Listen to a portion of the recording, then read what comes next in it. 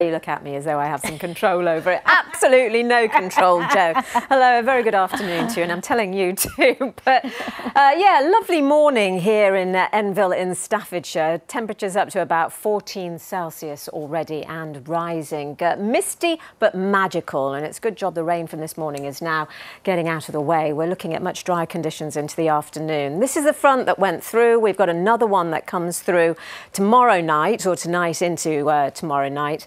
And uh, then we've got uh, some winds.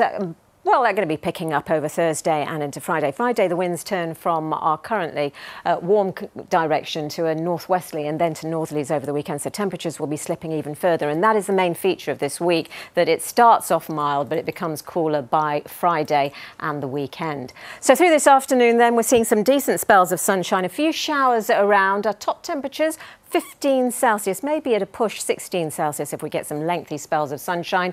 And the winds at the moment, they're going to be fairly calm. But as I say, they're going to be picking up through tonight and into Wednesday, more particularly through Thursday. And through tonight, we start to see a line of rain passing through. That'll leave us with a scattering of showers through tomorrow.